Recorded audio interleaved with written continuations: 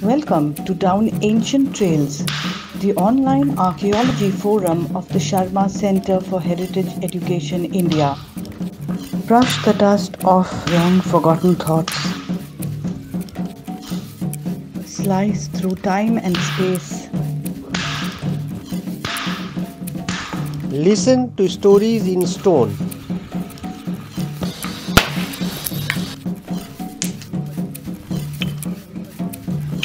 Whispers of voices lost in time.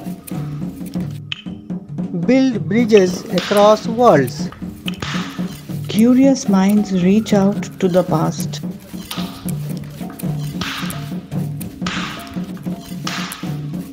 And travel down ancient trails.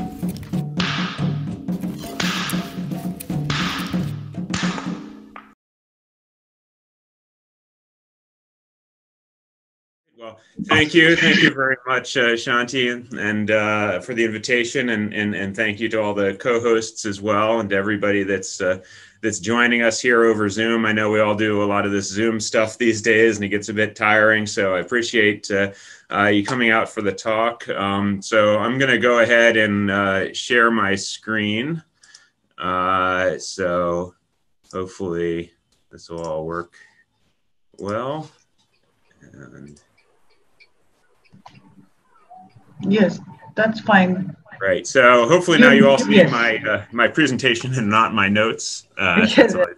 uh, so um, well, thank you again, and and I'm I'm very happy to to to be here uh, today uh, to to or well to be sharing this online space with you today uh, to talk about a, a topic that's uh, very close to my heart, which is the uh, uh, the role of technology in human evolution.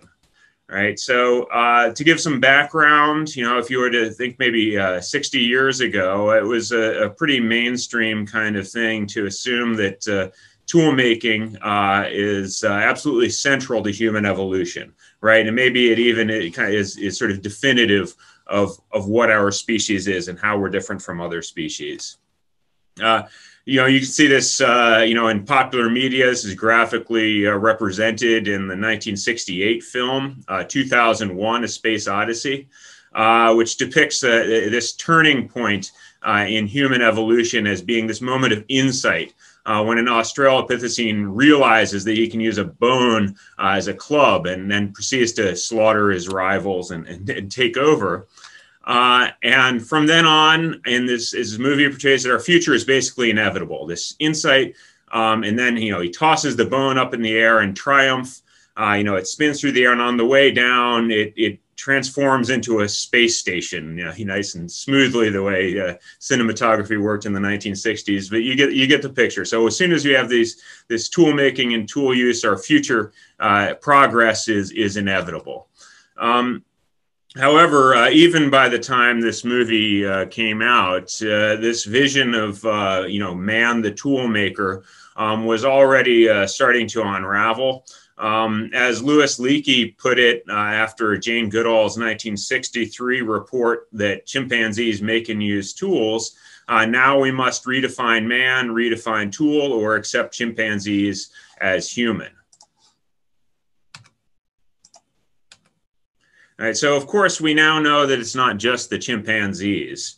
Um, so if you're willing to accept something like uh, hiding in a uh, in a coconut shell as being an example of tool use, then we can even extend tool use to invertebrates like the octopus. Right. Uh, furthermore, archaeology now tells us that the invention of early stone tools uh, was not a transformative breakthrough that changed everything. Um, the first stone tools are now thought to uh, appear about uh, 3.3 million years ago, and then nothing happened for like you know seven or eight hundred thousand years. Uh, so actually, the graph should look more like this: uh, a little flash in the pan at 3.3, um, some scattered uh, evidence, some sort of low intensity uh, uh, tool making at uh, two and a half million years ago, and then things only really took off with lots of sites and continuous technological evidence after about two million years ago. Um, so this starts to maybe early stone tools were not really such a big thing, such a big deal after all. Uh, so obviously, if you know my work, I don't believe that. Uh, Um, qualitatively, you know, you could say something like, well, uh, the chimpanzee probe here and the phone, well, they're both tools. So, you know, humans and chimpanzees both have tool use.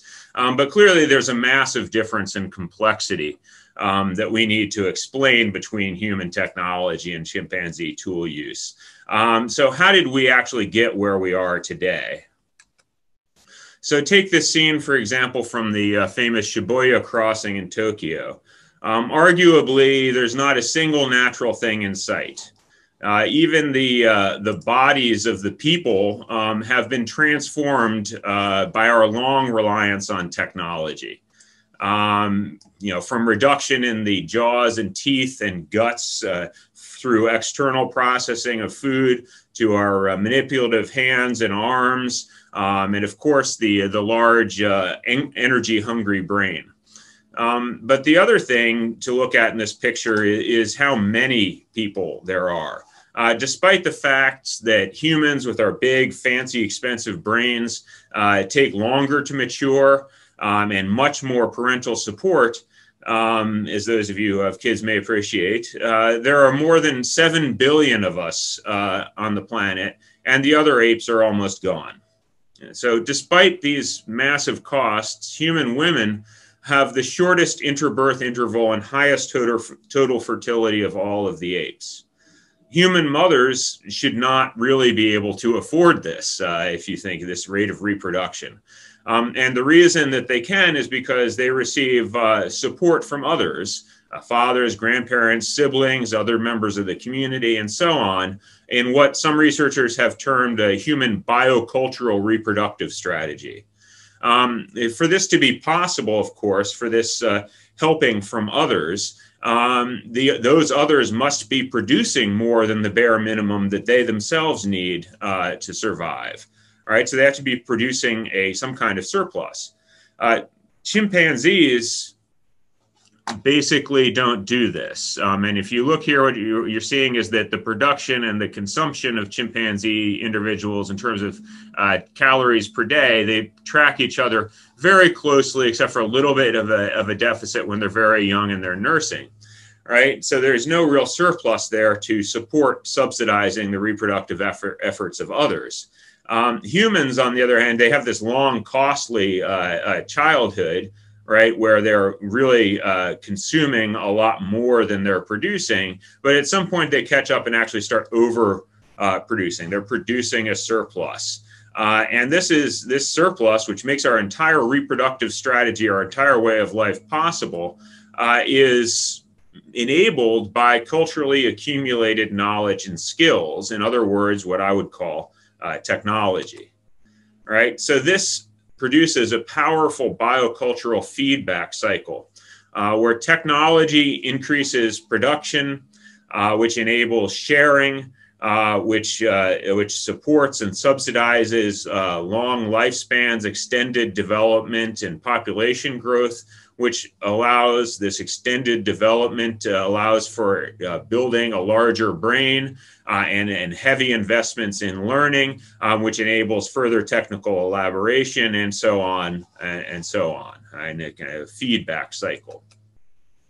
Um, so this suggests, this feedback cycle suggests that once this process here gets started, it should lead to you know to runaway feedback and exponential growth, as you see plotted out in this in this graph here. Um, so maybe you know we actually that whole thing with the uh, the Australopithecine throwing the the the bone in the air. Maybe that's right. Maybe you know once you start down this technological path, um, you know we're headed in this expansive uh, feedback cycle uh, after all. Um, but actually, if you think about it, um, this kind of uh, feedback is not inevitable um, not every single innovation is going to lead to a kind of a game changing increase in producti- productivity.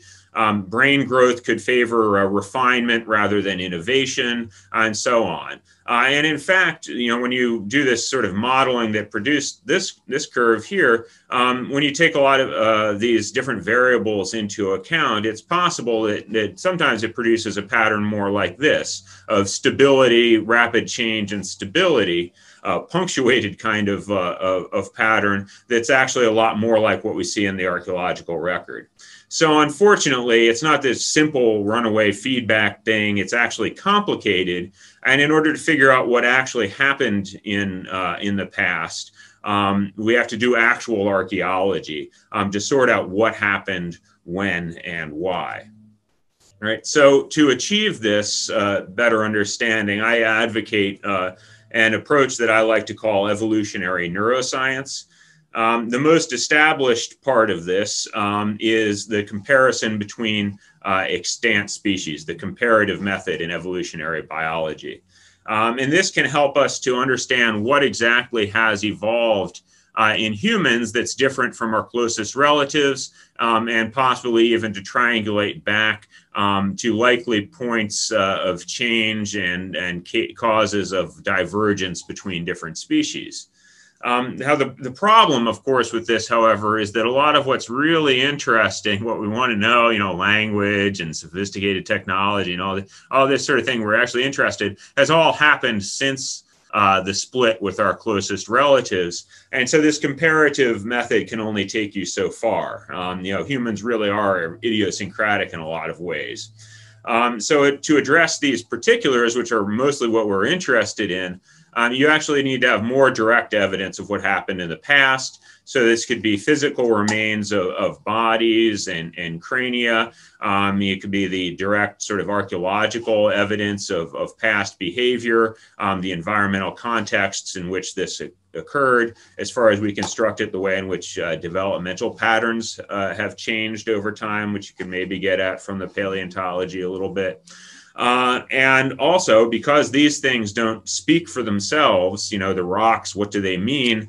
Um, you've got to have these sort of uh, analogical sources of, of ethnographic and experimental evidence as well to help you interpret um, what you're finding in the archaeological record. So uh, my colleagues and I have previously drawn on this sort of range of uh, evidence to argue um, that in human evolution, something that one of the very important things that happened um, was an elaboration of this uh, this connect these connections between the parietal cortex and the, the frontal cortex. Uh, the the tract involves is, is the uh, superior longitudinal fasciculus, um, but we've argued that this uh, frontoparietal connectivity, which supports systems for action planning and control, um, is a key substrate for the, the evolutionary and developmental construction of modern human culture and cognition, um, and that it provides a foundation both for refined action control by the self, um, but also for learning from the observed actions of others and inferring intentions from their behavior. Um, so I'm going to be talking a lot today about uh, behavior, um, but remember that what I'm going to want to relate it back to is the evolution of this uh, frontoparietal uh, perception action system here in the human brain. Uh, so the good news for evolutionary neuroscience uh, is that there has been a recent proliferation of experimental studies of stone tool-making cognition.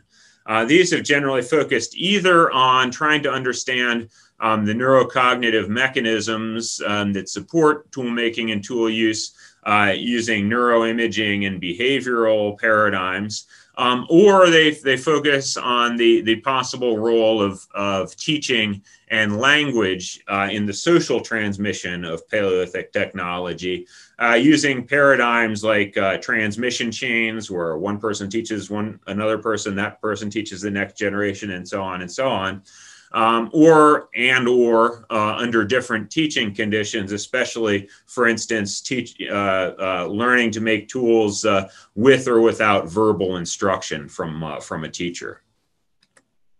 Right. So that's the good news. The bad news uh, is that stone tool making skill is still very hard to study experimentally. stone knapping is a real world skill uh, and it takes a lot of time, effort, and materials to learn it.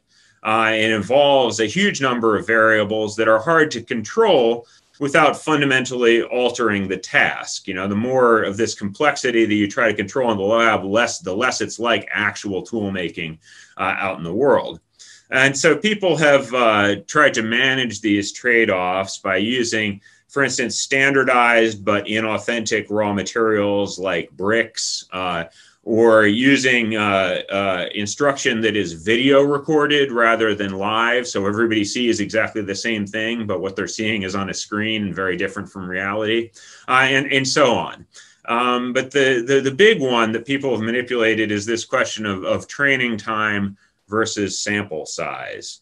Um, so, for instance, uh, you know, Morgan uh, and colleagues here um, published a very interesting study, a very large study um, they found that uh, there was evidence that verbal instruction uh, aided learning in the transmission uh, of, the, in a transmission chain experiment. They had 180 participants in five different learning conditions.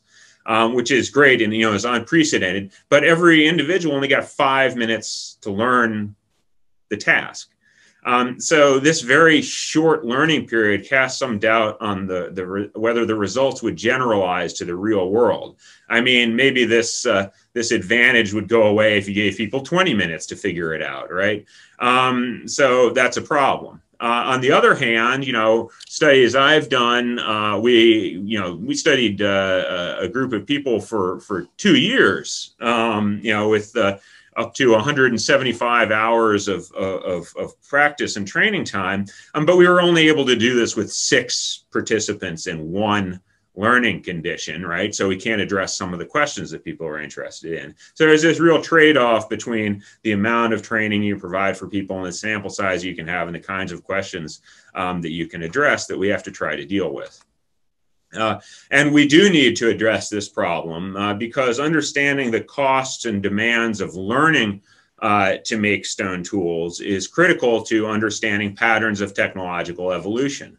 You know, for example, we can return to this question of, of why didn't early stone tool making really take off um, for more than a million years after the first indication that, that hominids could do it. Uh, this pattern uh, puzzles us. Uh, we find it counterintuitive, I, I, think, because archaeologists have something of a bias uh, to think of technological change as progress. Um, but we also know that new technologies come with costs as well as benefits. Um, so there can be a lot of front end costs uh, in gathering raw materials, making and maintaining tools, learning how to make them and use them um, before this actually starts paying off. Those costs have to be paid on the front end. Um, so I'm going to, uh, you know, so, sometimes uh, in some circumstances, you would actually be better off just going in with really simple technology rather than spending the time to tool up to something more sophisticated. Um, and I'm going to suggest that this kind of dynamic uh, could help to explain the, the fits and starts of, of early stone tools. Uh, and in particular, uh, I want to focus on the, uh, the costs of, of skill learning um, because the, this is something you can work with. This is something that can be influenced by the biocultural evolution of brains um, that are better at learning and by investments in the sharing and time of energy um, that we call teaching um, that, could, that can reduce these skill learning uh, costs for other individuals. Right? So, apes. Um, they, we now know that they, they can be trained uh, to make stone tools, um, but they don't do it in the wild. Um, it also it takes them a really long time to learn how to make tools, and to be honest, they're really not very good at it. Uh, so it's really no wonder that they don't bother on their own to do this unless you force them to in, in captivity. Um, and, and part of the reason uh, it's hard for them uh, to this is probably simply because their, their hands are not um, well suited to it. They have these really long fingers uh, that make the kind of manipulation of uh, you know handheld uh, uh, freehand uh, percussion um, to be very difficult. Um, but I think it's more than, than just their hands um, that makes this challenging for, for apes to learn. Oops. So just for reference, I wanted to show you, this is a, a short video showing you I thought it was anyway. Um.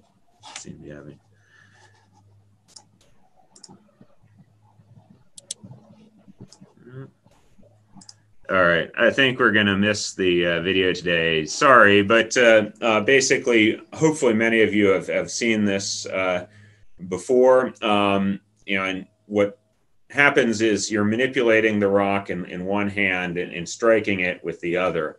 And what is uh, uh, most evident usually in the video people who haven't watched this before is these you know highly accurate uh, uh, strikes um, with the uh, the dominant hand. Um, but what is a little more subtle is the amount of fine manipulation that, that's done in accurately positioning and supporting uh, the core to receive uh, the blow with the non-dominant hand. Um, so in a simple thing like Oldowan tool making, um, where you're just trying to produce flakes, um, the strategy here is not very complicated. Um, but the perceptual motor demands are actually quite high. Um, and so it takes some investment in, in time to acquire this skill. Um, so as I was suggesting, it's not just. I mean, you you you can see that the manipulation by the hands is very important, uh, but I think it's not just the hands, but also the brain and the way that it's wired that makes this difficult for apes. Um, so this brings us back to the uh, the the frontoparietal system that I told you I was going to return to, um, and you know comparative work shows that compared to chimpanzees, uh, human have a have a much expanded frontoparietal uh, pathway here um, that connects sort of the, uh, the, the visual cortices in the uh, in the back of the brain with uh, with parietal cortex um, involved in, rep- in representing uh, spatial relations, allocating spatial attention, movement kinematics, representing the body and its place in space, um, and communicating this with the so-called executive cortex uh, in the frontal lobes, which are involved in action planning. Um, and you can see these the, the, same areas that are better connected um, uh, and uh, have added functions in humans versus chimpanzees are the same regions that humans, in any case, appear to rely on heavily, even when they're doing simple stone tool making. Um, so our uh, uh, uh, our previous studies of uh, neuroimaging of stone tool making have highlighted this frontoparietal system, which appears to be evolutionarily elaborated uh, in humans. And you know the reason why we're uh, you know I, I, think that this is such a a, a big deal um, is that this system is uh, important not just for uh, controlling your own execution of actions, uh, but also for imitation. So, uh, you know, as depicted here in this diagram, there's uh, at least two ways that you can try to figure out and copy what somebody is doing if you see them do it, right? So let's say they're just picking up a, uh, a, a mug and, and, drinking coffee, right? And so um, first, you might use general semantic knowledge about the world and the way it works you know like you you know that for instance uh, what a cup is that they often contain coffee and that we both like to drink coffee. Um, and then you infer from this sort of general knowledge that if i'm picking up the cup i'm probably uh, going doing that because i want to drink coffee. And if you want to imitate me you would say well that was their goal was to pick up the cup and drink coffee and now i'll figure out my own way to achieve that goal. So you know you might grab the uh, uh, the cup by the handle you know and i just grab it like this or i might you know stick my pinky finger out while i'm dr- drinking. So i would be pursuing the same goal, goal but inventing my own way of achieving it. Um, and the other way to, to copy and understand something that you see um, is to actually internally simulate uh, the actions that you're observing. Um, so I see you reach for the cup and I internally simulate what it would be like if I were moving my body that way. I imagine that I how I would make exactly the same movement, and I infer from that, you know, if I were making that moving movement, what I would be doing is trying to pick up the uh, the, the cup and drink uh, coffee. Uh, and in this case, this allows you, if you're going to copy the movement, to copy exactly the same action and use the same methods. Um, and it's this form of copying uh, through uh, internal simulation that's supported by the the uh, the, the frontoparietal systems that that I keep mentioning, right? And again, this is considered by many to be quite a big deal because a lot of people think that this kind of detailed copying of specific behavioral means rather than just general action goals um, is a, a critical support uh, that enables our high fidelity cultural transmission, um, which in turn is what allows for human cumulative culture, or in other words, our ability to keep building on past inventions uh, to the point that we've got all this stuff around us that no one could even invent in their own uh, lifetime. And, you know, that many of us who make and use it don't even really understand how it works. It's just accumulated over time. Um, and this is what Joe Henrich and his uh, uh, uh, way with words calls the, uh, the the secret of our success right? This human cumulative culture supported by high fidelity cultural transmission possibly supported by our ability to accurately reproduce uh, actions that we observe. Right? So going back then to our evolutionary narrative we said we're stuck with these you know early apes not making stone tools too challenging for them not worth the investment. Uh, what about australopithecines um, so we still we're still talking about small brains, big jaws and teeth, uh, hands and arms that may not have been precisely suited to the task. And for them as well, stone tool making may simply not have been worth it very often to do. Um, the exception that proves the rule here, of course, is the uh, the Lomekwian, um, which was made actually uh, using less demanding techniques like indirect percussion against a stationary block um, or bipolar shattering on an anvil um, require much less control and dexterity. So as you can see here, the experimenter has actually taped his uh, fingers together uh, to prove this point that you can do this without a lot of uh, fine uh, control of the hands. Um, so this technology would then require less investment in skill and dexterity, um, but maybe also produce less of a payoff with a less efficient uh, uh, technology.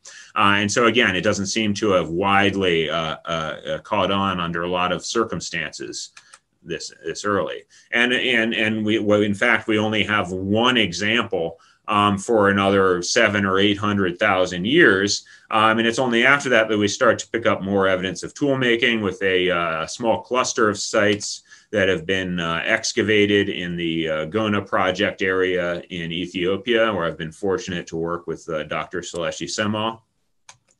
Um, and here we have evidence for uh, more refined uh, freehand tool making methods, indicating a greater investment in skill acquisition.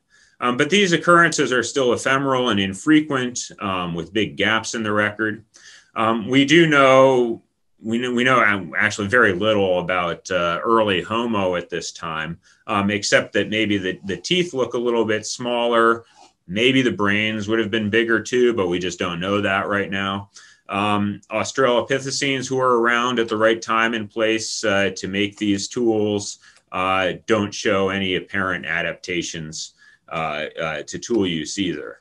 Right. So we have uh, a more skill intensive way of making these stone tools is perhaps more efficient in the long run once you make that investment in skill acquisition. We're not really sure what the makers uh, looked like.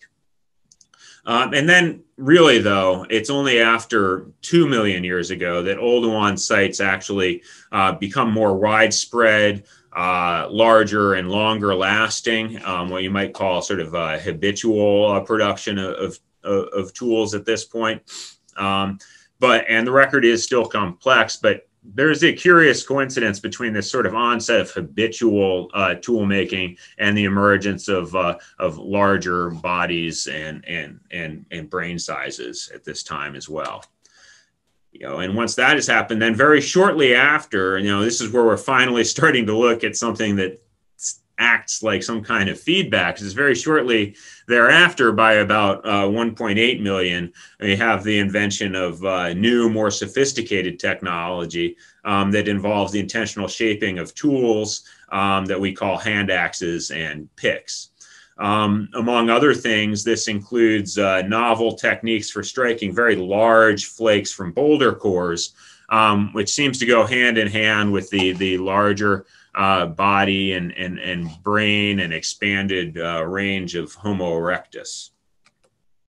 And this adaptation seems to be very flexible and stable, uh, uh, allowing hominids, either with or without hand axe technology, to inhabit uh, diverse uh, environments throughout uh, Eurasia. Um, in places where hand axes, like East Africa, in places where hand axes were made consistently through this time, um, there is some evidence of uh, incremental refinement uh, through time. Um, but overall, things are pretty stable for a million years or more. By 500,000 years ago, however, we do see clear evidence of another period of rapid change. Um, so uh, this includes uh, further encephalization uh, as well as habitat expansion and new technologies. Um, one I've studied in some detail are the uh, late Acheulean hand axes from sites like Boxgrove in the UK.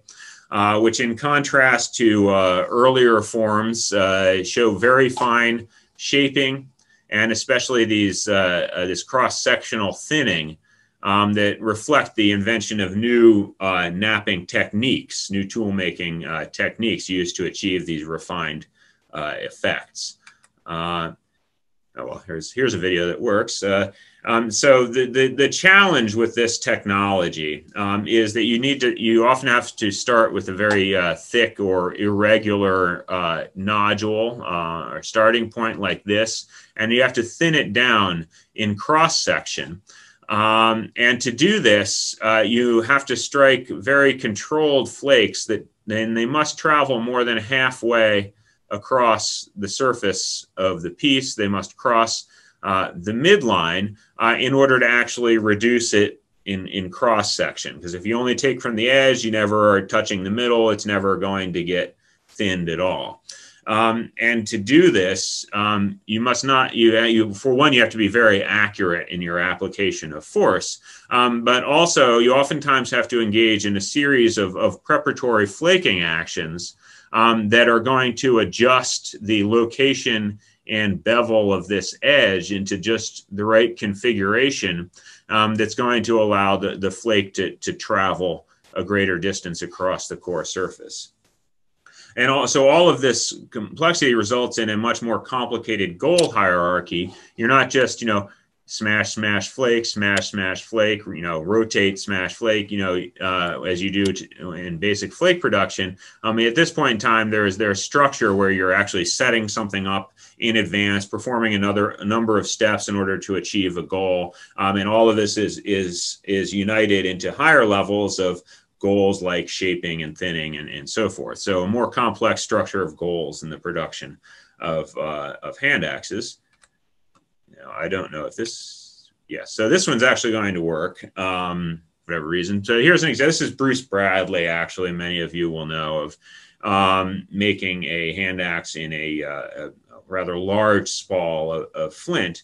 Um, and the, the, point of this is uh, to show that uh, there is a, a, complex chaining of actions. So what he's doing, if, if you're not familiar with hand production right here, um, what he's going to need to do is, is, is remove this big thick area back there to thin it, right? So you may wonder why he's just dinking around, taking little flakes off this edge here.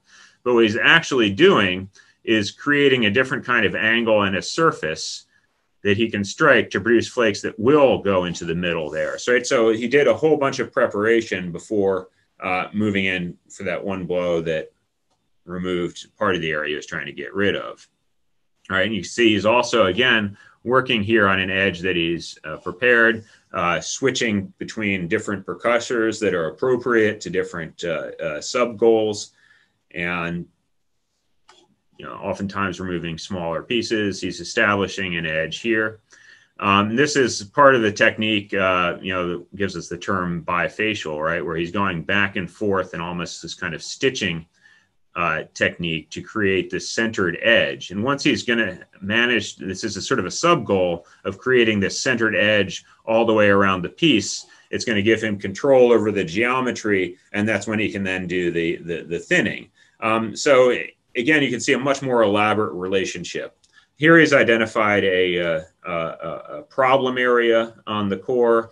Um, the angles are not uh, quite what he needs them to be. I mean, I don't know if he, you can see that there's sort of a, a bulging area right there um, that he's trying to get rid of, but he doesn't have a good angle. So he's going to back off from that and work into it from a place where he has a little bit better angle. If he can remove just a few millimeters of rock there, uh, he can establish the striking platform that he needs, and there, and there he succeed in removing uh, flake that's going to actually thin the piece down.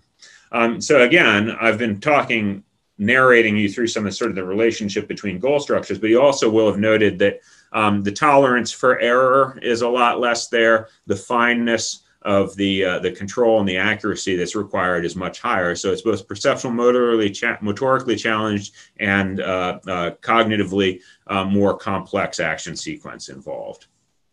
So what we wanted to do is actually get uh, an uh, empirical, experimental perspective on on the actual learning challenges um, and the level of investment in learning that's implied by this technology when we start to see performance like this, uh, you know, half a million years ago.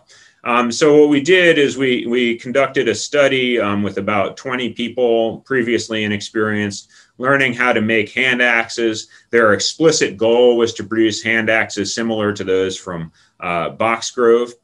Um, Nada Khreisheh, uh, an expert stone toolmaker who trained uh, with Bruce Bradley, um, was responsible for uh, for teaching these individuals. We were able to provide them with up to 90 hours of uh, practice and hands-on instruction each.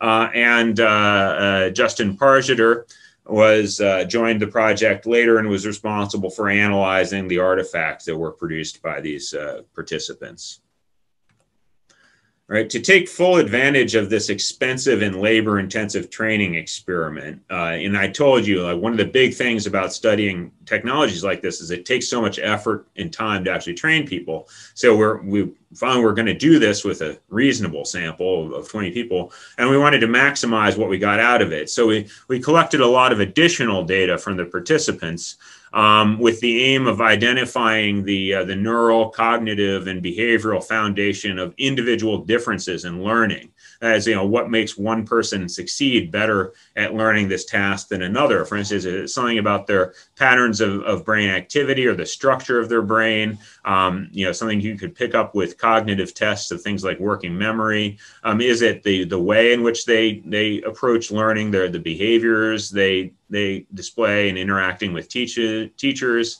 You know can is it something about their their individual practice habits and and so forth? We even looked at their their language skills um, and so we collected all these data about individuals. Uh, but the critical thing that you have to have um, is something to compare that with. And, and we need to have an actual quantitative, objective measure of just tool making skill. You know, we, we can quantify, oh, you know, their brain has, you know, in, in great detail, um, but how good were their hand axes? How much did they learn? How do you say individual one or individual two uh, learned more. And this is actually a major methodological challenge uh, for experimental neuroarchaeology. Um, so, I mean, look at, you know, so here are uh, hand axes that were produced by the uh, participants. I mean, you know, clearly you'll look at these and you'll say some of them look better than others. You know, like, oh, you know, I mean, this one's not bad. This were they even trying to make a hand axe? I, don't know. You know, um, but can you put a number on that? You know, I mean, is this a you know is this a, a two point three and this one's a five? Um, how would you do that? And that's what we need to do if we're going to actually compare skill learning and, and track development. So what we did to try to address this methodological challenge uh, was to try to leverage the subjective expertise of the instructor, who, after all, knew what she was trying to get them to do. She was the teacher, right? Um, and so what what she did, what Nada did, was to give each participant a skill assessment after every 10 hours of training. And she would observe them trying to make a hand axe and carefully rate their performance using a standardized rubric of different things that she was looking for. Um, what we then did, but the problem with that, of course, is you can't do that in the past right? Uh, so what we did, we wanted to get at this from just the things that they produced, just the artifacts that were comparable to what you would find in the archaeological record. Um, so what we did is we used a machine learning algorithm um, to try, to try to reproduce her ratings of performance purely from the metric attributes of the uh, the artifacts that people produce. You know, like all the uh, their their linear dimensions, things like the extent that's bifacially worked, on flaked area, a bunch of stuff like that. And we threw all that into this machine learning uh, algorithm, um, and this this produced a model. Um, that allowed us to approximate with you know reasonable reliability uh, the kind of rating that an actual expert observer would have given to somebody if they could watch them making this thing. Um, and so that's really nice. And furthermore, it's just from the material remains. I, it is at this point completely objective because now it really is just from the measurements, uh, and it provides a very continuous rating of the quality of each hand axe. Um, so we use this method um, then to uh, quantify and study this the skill learning process in our study uh, by plotting out uh, increases in uh, hand axe quality uh, over the course of training in our group of learners. Um, and so what we found is this class, this is a really classic power learning curve that you find in all kinds of things from, uh, from learning to trace it you know, when you're looking in a mirror or just rotor pursuit tasks. You know, even I think cigar rolling study they did uh, uh, showed this kind of power learning uh, uh, thing where you, you, what happens is you show initially um, very rapid gains. You know, you start at zero and you get better fast, uh, and then things become much slower. You kind of plateau off, and you have to work harder and harder for each subsequent increment in in performance. And you know maybe you've had this experience yourself trying to learn some kind of skill or sport or something like that. At first it's great uh, but then it gets harder and harder to keep improving. Um, so, so that was a very nice finding, which at least we, you know, it, it's what we, you would like to expect to find in a study like this. Uh, uh, but life being what it is, what it is, we also had a, a good deal of variation um, in how often participants were able to make it in for practice. You know, we set out with the objective of, of, of controlling this completely, you know, and everybody does the same number of hours and same frequency and that kind of thing, you know, but people have lives and, and over the course of months, things happen and they can't make it for training, for instance. Uh, so we did have quite a bit of variation that you can see here, even in the total number of hours people got and how rapidly um, they got there. And but this was, you know, the silver lining of this is we it allowed us to to find that it's not just the number of hours that you log um, that that result in increased performance. It's actually the concentration of practice. So we found a, a, a good effect of uh, practice density you know so clustering your practice together and sticking with it um, results in better more rapid uh, increases um, than than spacing out your practice more widely. Uh, so clustered or dense practice is more uh, effective in learning a skill like this which is something that we can think about in terms of what that implies about uh, you know uh, uh, behavior in the past.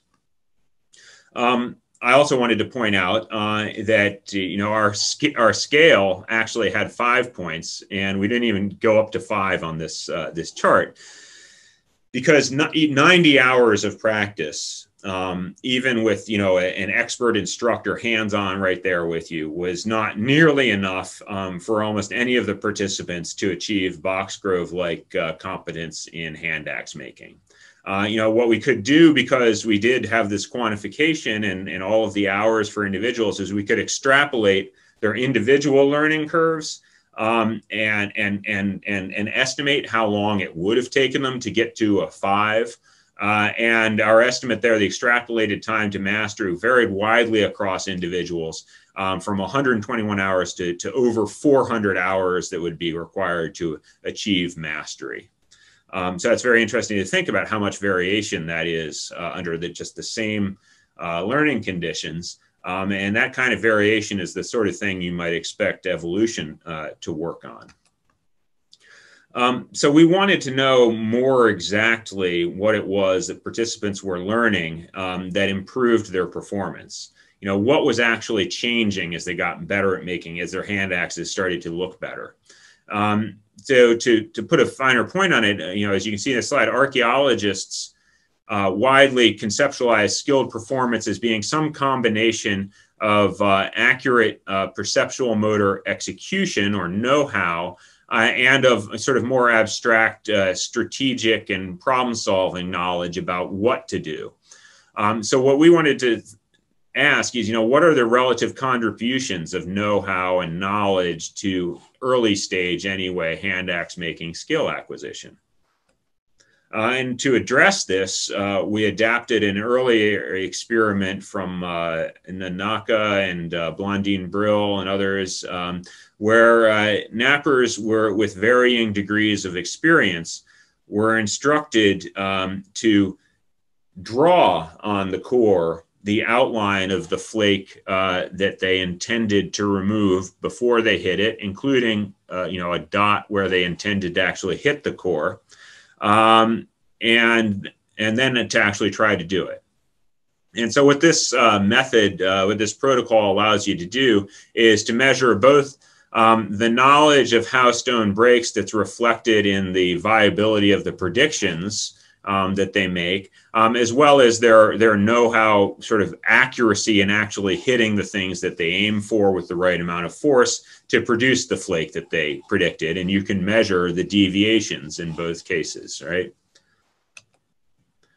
Um, so we applied this method in our study uh, by having participants predict and draw the first five flakes uh, in an attempt at hand axe production. Uh, we allowed them three strikes for each prediction to detach a flake. If they couldn't do it in three strikes, we called that trial a, a failure. And as you can see here, then that would allow us to actually see the difference, for instance, between where they said they were going to hit it and where they did, what they thought the platform would look like and what it actually looked like, and so forth.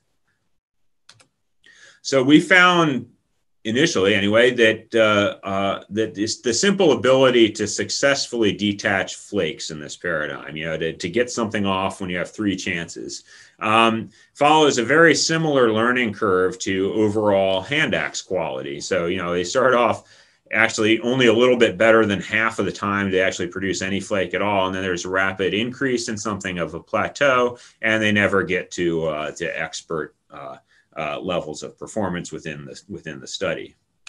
Um, but digging a little deeper, what's very interesting here is that uh, this, uh, these difficulties do not seem to be, uh, and these changes don't seem to be due to changes in the ability to predict, to make reasonable predictions of viable flakes um, uh, that respect the, the known principles of fracture mechanics. So the novices here in black um, respect the same kind of relationship between the the platform angle and the size and shape of the flake that, that comes off. They have the, these slopes uh, between the novices in black and the experts in red are indistinguishable, right? So both of these groups in novices, even from the beginning, are sort of appreciating the way in which the geometry of the stone works. Um, it does seem that experts uh, uh, do expect longer flakes in general um, from their performance.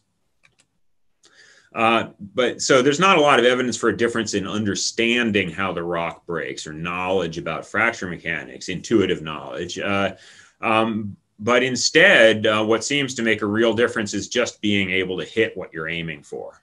Right. So what you see here is the error distance uh, between the predicted point of impact and the actual point of impact clearly and significantly decreasing across training and clearly at the at its lowest level uh, in experts. Um, so novices fail apparently because it's hard to realize a plan, even if it's a good plan, if you just keep missing what you're aiming for. Right. Um, but what's really fascinating about this is this increased accuracy is not just about perceptual motor coordination. It actually reflects this interaction between knowledge and know how.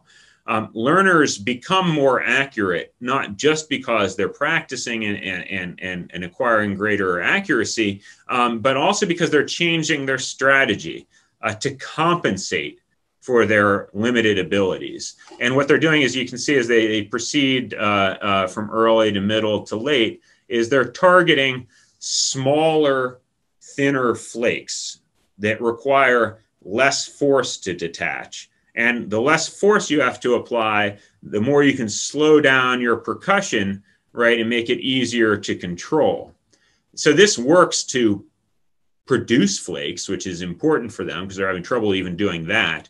Um, but unfortunately, it doesn't work very well to produce a nice thin hand axe, right? Which you need uh, these bold, invasive flaking to get the thinning going, which is what you see in the the experts, both their predictions and their their actual flakes. And the novice performance throughout remains a far cry from that.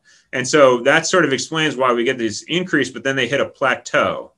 Where they, they may know what they need to do, but they're still unable to actually uh, achieve it here. And so they've sort of stalled out while they're still needing to further develop just their basic motor accuracy to the point where they can actually pursue expert strategies. So I would say that maybe you can make a theoretical distinction um, between knowledge and know-how that might be useful, but in the real world, um, these two are inextricably linked to each other uh, in skilled performance. Um, so what are the neural foundations for this kind of skilled performance? Uh, you won't be surprised that I'm going to return again to this frontoparietal pathway for action control. Um, we found this pathway to be consistently implicated in neuroimaging studies of stone tool making, uh, as indicated by everything from uh, task related uh, glucose metabolism when people are actually making stone tools outside the scanner um, to uh, measurement of, uh, of, of blood flow while people are watching videos of tools being made sitting inside an fMRI scanner uh, and even to, uh, to actual uh, training induced structural changes in the white matter pathways that connect these parietal and frontal regions. So I'll focus uh, uh, here on the, on the white matter structural data um, because I think it provides the most direct link to evolutionary kinds of arguments and changes in brain anatomy. Um, so in an earlier study of stone tool making learning here, this is the one that only had like six participants in it. Um, we found that practice produced structural changes in the superior longitudinal fasciculus. That's that fiber pathway that connects the frontal and the and the parietal uh, lobes here, inferior frontal. Um, and we found so we found that the training just going through the training produced these structural changes.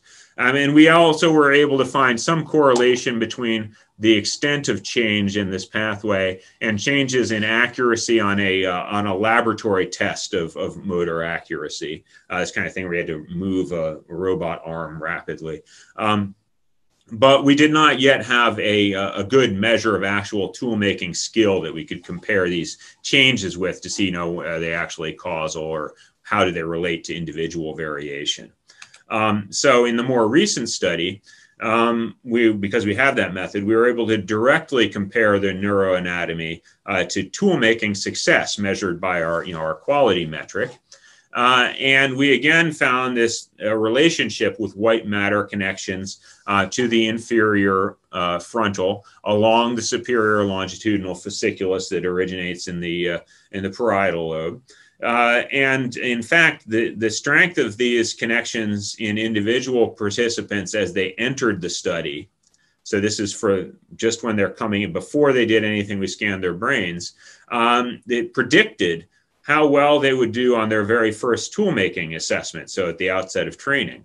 Uh, so, kind of where their brain was when they came into the study produced how well, uh, predicted how well they did at the beginning of, of training. Uh, and you can see this relationship here between uh, the, the, the white matter measure that we use and the, the quality of the tool on their first assessment. Uh, and something that's even more interesting, you'll notice these dots are uh, a different size here, right? Um, and what that's indicating is uh, years of prior experience um, with other kinds of gross motor skills, uh, crafts like carpentry or sculpture.